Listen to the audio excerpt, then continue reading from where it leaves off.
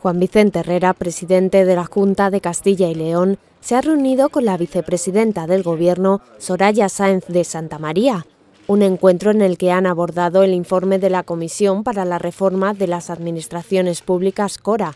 Del contenido de esa reunión han informado el consejero de la Presidencia y el subsecretario del Ministerio de la Presidencia, donde ha explicado los objetivos que el Gobierno persigue con la reforma. Que la Administración tenga el tamaño y la, simplicidad de estructura que necesita estrictamente para el ejercicio de sus funciones, que no haya duplicidades entre distintas unidades administrativas, sea dentro del Estado, sea con las comunidades autónomas, o sea con estas y las entidades locales.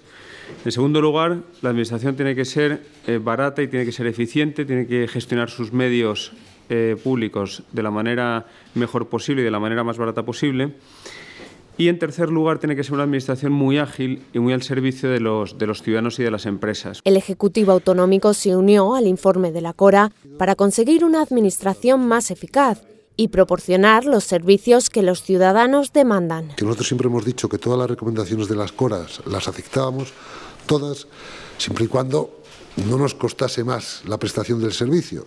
Hay, eh, hay servicios que nosotros damos a los ciudadanos de Castilla y León que eh, nos cuestan, uno, nos parece muy bien si nos lo presta eh, una institución, un ente del gobierno de la nación, pero hombre, que no nos cueste más de uno. Es decir, siempre aceptaremos cualquier servicio que pueda ser prestado en el ámbito de la Administración General, siempre que el servicio sea mejor y al mismo coste. Un paso más hacia una reordenación de las administraciones públicas.